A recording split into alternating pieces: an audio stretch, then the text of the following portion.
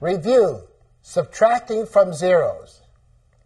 Let's go to an on-site location for the next problem. This is a grain elevator where they store grain to be shipped.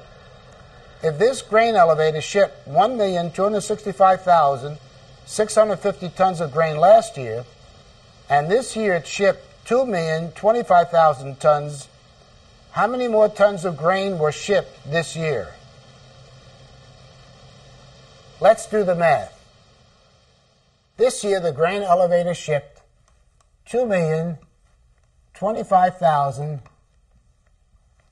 tons of grain. Last year it shipped 1,265,650 tons of grain. What is the difference between the two years? So we have to deduct last year's from this year's. Zero from zero is zero. We can't deduct five from zero, so if to borrow from the next number, we can't do that, so we have to borrow one from the thousands column. Now we can borrow from the hundreds column, makes this a 9, and makes that a 10. So 10 minus 5 is 5. 9 minus 6 is 3. We can't deduct 5 from 4, so we have to borrow from the next number. 14 minus 5 is 9. We can't take 6 from the 1, so we to borrow from the next number. We can't, so we have to borrow from the millions column. Now we can borrow from the hundred thousands column. Makes that a 9. This makes that 11.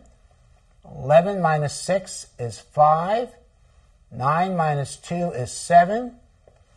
And 1 minus 1 is 0. So this year they shipped 759,350 tons more grain.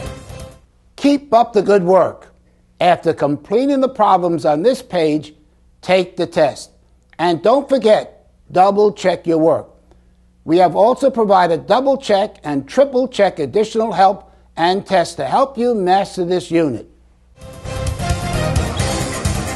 Please work the problems and take the test in your workbook. Number success, the practical way to learn.